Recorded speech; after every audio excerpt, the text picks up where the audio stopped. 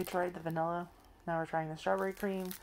This is great value strawberry cream wafer cookies. These are like one dollar and something, one dollar and some change.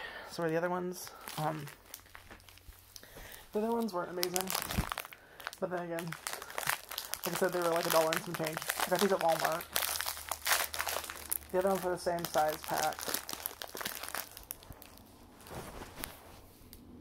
Um, that smells weird. It's kind of pretty color though.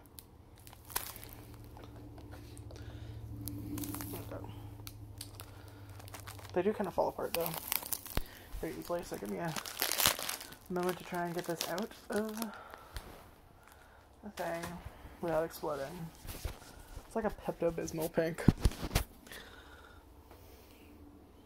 It smells artificial.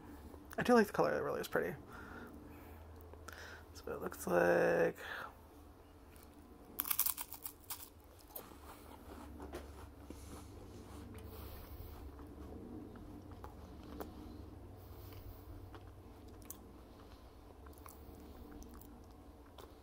Not bad.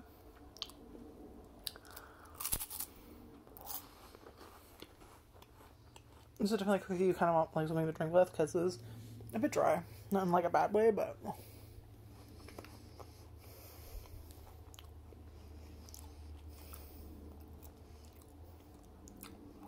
I don't know why it's giving like Nicki Minaj Barbie vibes. Mm.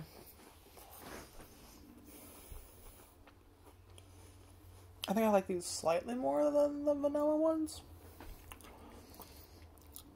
But I think I give the vanilla ones a a three out of ten or a four out of ten too.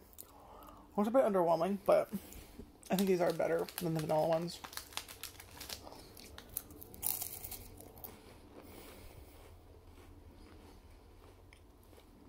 It's just because I'm in the strawberry mood. But like no straight up they look like Pepto Bismol pink. Like if Pepto Bismol pink and Barbie pink had a baby. It's this color. Yeah. For like a dollar and some change, they're not bad. And there are plenty of other better cookies. They do taste artificial. But it's not offensively artificial. I was like, yeah, there's definitely fake strawberry, but it's not like, ugh, oh my god, why the fuck? Yeah, it's like not that. Yeah, like I was confused by.